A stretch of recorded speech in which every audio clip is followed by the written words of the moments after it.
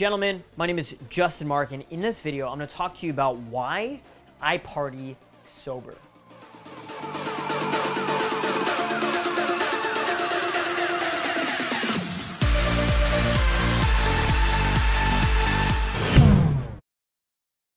All right, guys, so over the last eight years, probably closer to 10 years, I've struggled with alcohol. To tell you the truth, I was an alcoholic. And the reason I say I was an alcoholic, and I admit I have a problem, was because was I drinking every single day? Not necessarily. But when I would drink, for the most part, usually I was really cool. Usually it was really fun. Usually it was a great fucking time, right? But every now and then, I would get out of fucking control. And, you know, one drink would be two, two would become three, four, five, six, seven, eight, nine, ten. Next thing I know, I'm fucked up. And next thing I know, I'm freaking out or just crazy or fun, but waking up and being like, where the fuck am I? Or just annoying, weird drama. And I remember I did quit for almost a year. Then I started drinking again. And then I met a beautiful woman I fell in love with, took her to Niagara Falls, asked her to marry me. She said yes. And then next thing you know, I'm wasted in the club, pounding tequila shots and fighting with her. And she wanted to break up with me. Now, we eventually fixed the relationship, went on to date each other for a year, be with each other, spend a lot of time with each other. But it ended up not working out anyway because I decided I wasn't ready for that long term commitment. And so we went our separate ways. And what was crazy to me though was how I noticed alcohol deeply, deeply affected me.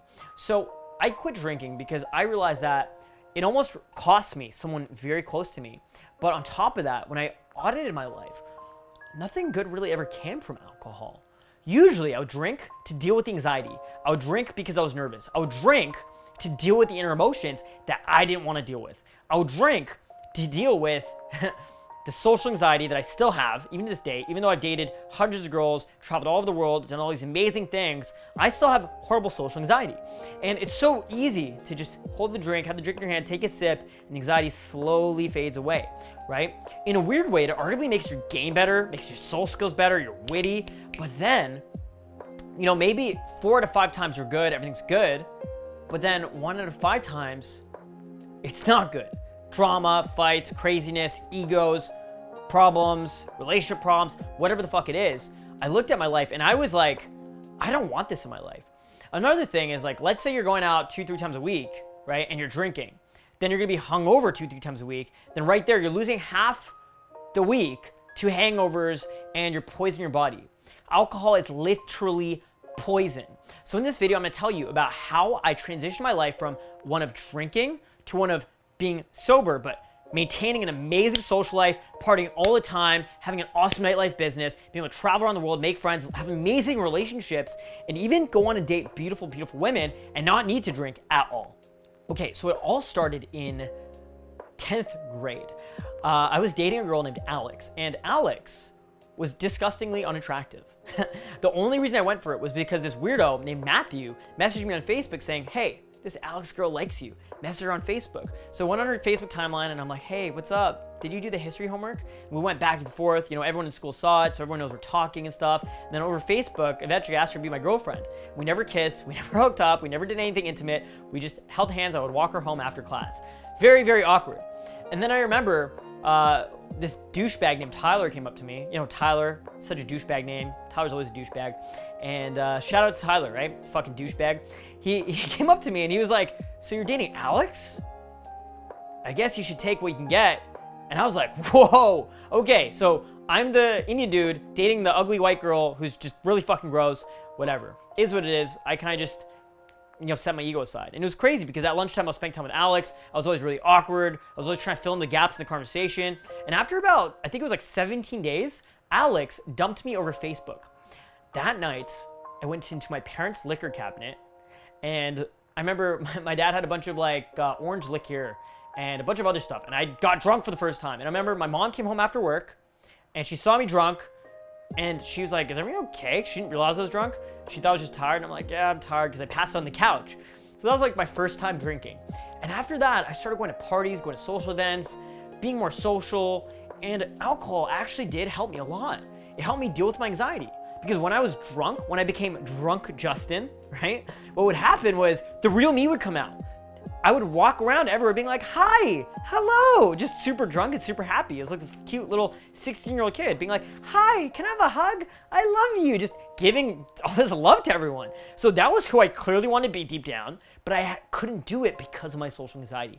So alcohol kind of almost in a weird way taught me who I was internally. So it played its role.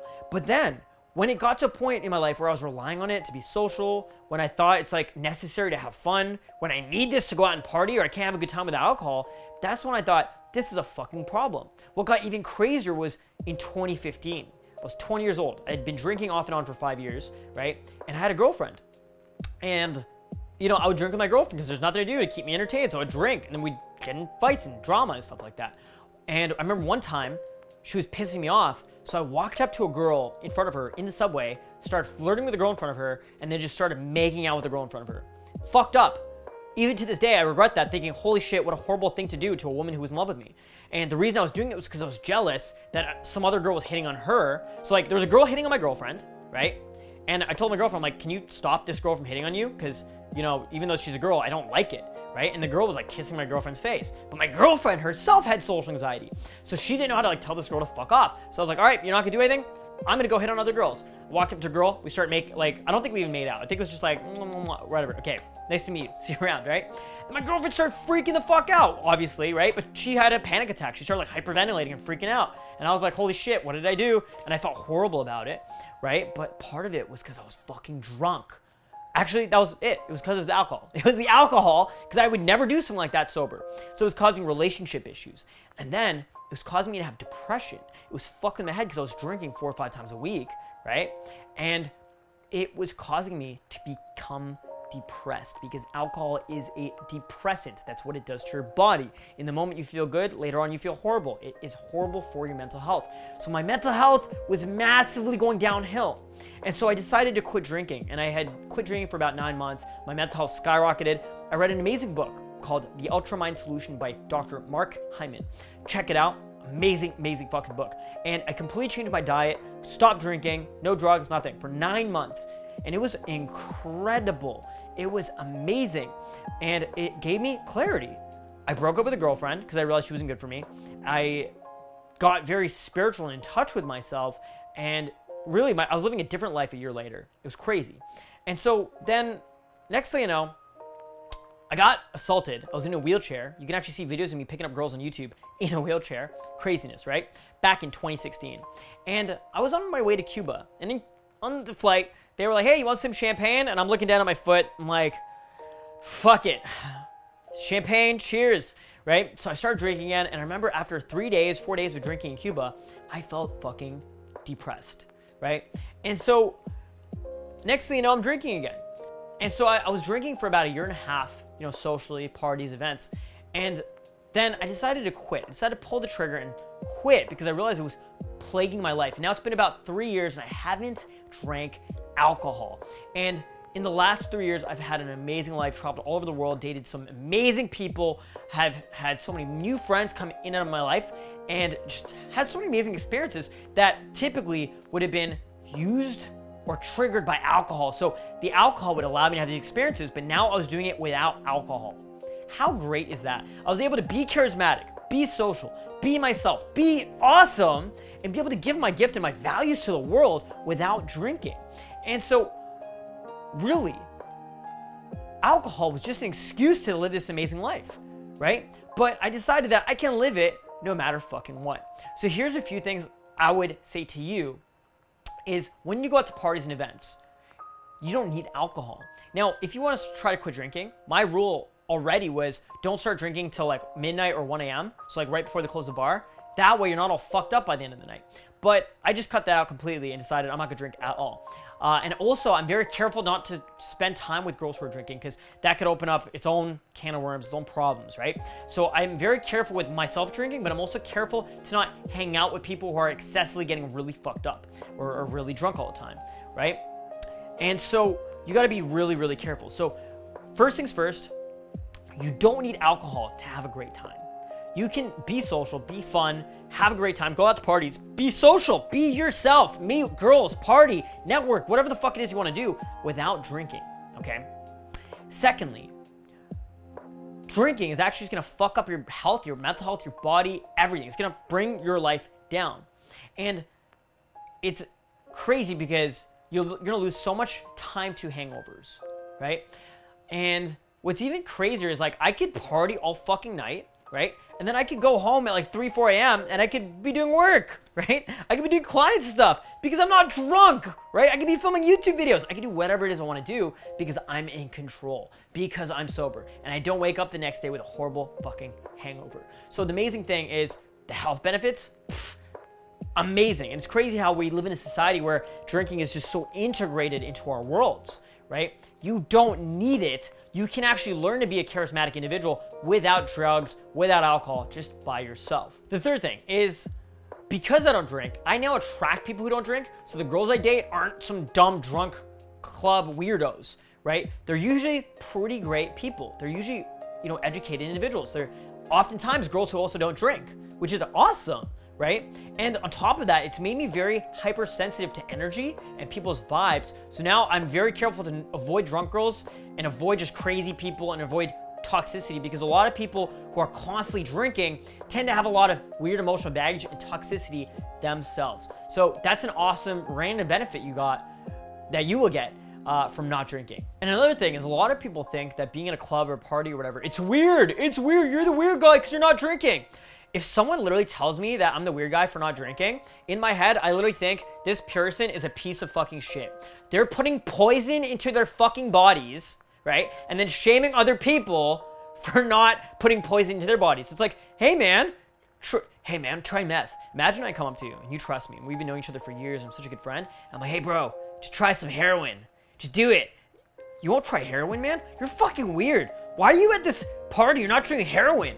Like, imagine how weird it would be to do that. Well, if you actually just go on Google right now and search up drug chart, you're actually gonna see that alcohol is the worst drug you could put into your body, okay? I'm gonna search up right now, drug chart. Go to Google Images and you can actually see, this is what comes up, okay? It says ping through the nose. Alcohol is at the top of the charts. Heroin, crack cocaine, and methamphetamine are right under alcohol. Alcohol is the worst drug for you.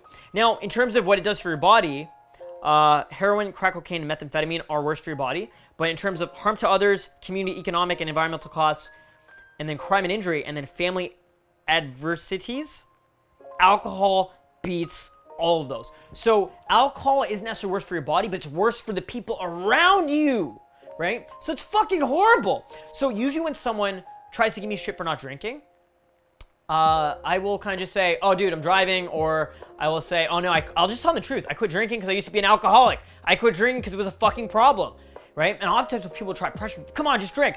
And you don't have to get defensive, tell them to fuck off. Obviously, my default would want to be like, dude, suck my fucking cock. Stop trying to tell me to fucking drink, you fucking scumbag, right? I was a fucking alcoholic. Fuck off, right? If it gets to that point, like, I don't think it should ever get to that point, but like, that's always an option.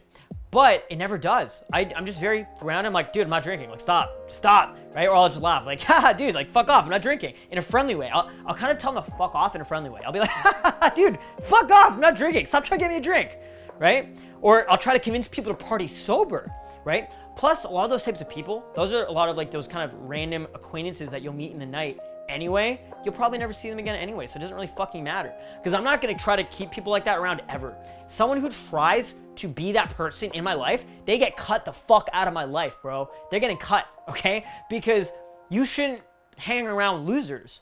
Because you become the average of this five people to surround yourself with. So if you hang out with winners, you become a winner. If you hang out with losers, you become a loser, right? So hang out with people who are like-minded. So if you have a certain goal, you should try to hang out with people who have that same goal. So that's honest to God why I party sober. And uh, I mean, if you actually look at like the impacts alcohol has on people's lives, it is fucking horrible. Quitting drinking is one of the best things I've ever done in my life. It's helped me to level up so much and it kind of just forces you to deal with who you are instead of escapism, instead of escaping into the drink, instead of escaping into this different mindset, right? It allows you to deal with what's inside and you're vulnerable. And then when you socialize, you can almost get drunk off of that. Oftentimes I go to parties and I feel like I'm high. I feel like I'm in the zone just from my social skills, just from the way I'm making myself feel. Instead of getting it from a drink, I'm generating it from within. I'm generating that vibe, that state from within. I'm getting it from within inside myself, getting in the zone without drugs or drinking. It's awesome. You should fucking try it. It's an amazing experience. On top of that, it makes my game sloppy. This is like another thing. It makes my ability to meet people, maybe meet intimate partners, very, very horrible. Like, let's say I go to a nightclub and I'm single at that time in my life and I want to meet someone special for that night, right? A special friend, a special girlfriend for the night, right? Well, now I can't effectively communicate with people because I'm fucking wasted. I can't effectively communicate because I'm like, you know, I'm just like a fucking zombie, right? And so it's made it easier for me to build connections and build intimacy in relationships, whether short term or long term, right? Don't get me wrong, drinking has its own bonding effects and can really do things to your brain, but I honestly don't think you need it, especially when you learn high level skills of communication. And that's why I offer a lot of my coaching programs to teach other guys how to build communication skills without drinking or alcohol. So, one thing you can actually do when you go to these parties is have some soda water in your hand. Just if anyone asks what you're drinking, I'm just like, I'm just drinking vodka. I've gone to a point where it's like, I don't want to have to explain my life story to every single person I meet. I don't want to explain it every time I'm at a party, right? I was at a boat party in Australia and uh, we were out in the Great Barrier Reef, two day party. Everyone's drinking. I'm the only person not fucking drinking. It was fucking hard. I was this close. I was like, I want to drink, but I didn't drink. I stayed resilient to not drink alcohol, not fall into that peer pressure, not fall into that external pressure of needing to drink so I could fit in or whatever the fuck. And I had a great time. I was one of the coolest guys there. I made friends with everyone. I was flirting with all the girls. It was a fucking great time, right? A two day boat party with like 40 people or 50 people. We're going crazy, partying is awesome, right? And I didn't need alcohol to have a good time, right? So you don't need it. So I would highly recommend you try it out, see how it goes, cut back. Just try to cut back your alcohol consumption and see how you feel and see how it impacts your life. And I noticed one thing that was crazy. After I quit drinking, I 10xed my income about six months later. After I quit drinking, I started making literally 10 times the money every month, which is fucking insane. Because now there's no brain fog. There's no there's a clarity behind my actions and what I do. So that's my advice. There's a million and one different reasons to quit drinking. But anyway, my name is Justin Marc. If you guys ever have any questions or need any advice, leave it in the comments down below. Or you can actually message me on my social medias. Message me on my new Instagram, DrunkJustin2. Message me on my Snapchat Telegram, linked in the description. All social medias linked in the description. Make sure to subscribe to my channel if you like my content. And if you don't, make sure to dislike this video. I don't give a fuck. Uh, but if you do subscribe, click the bell notifications so you're notified of new videos. I appreciate all the support and all the love I always get from you guys. I would be not close where I'm at today if it wasn't for you guys. So I'm really grateful for having each one of you guys as a part of my life and my community. And I'll talk to you guys very soon. We'll see you in the next video. Peace out.